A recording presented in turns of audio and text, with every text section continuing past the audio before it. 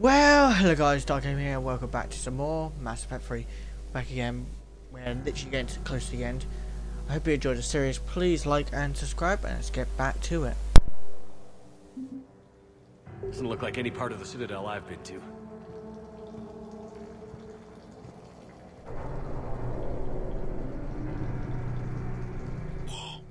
Anderson?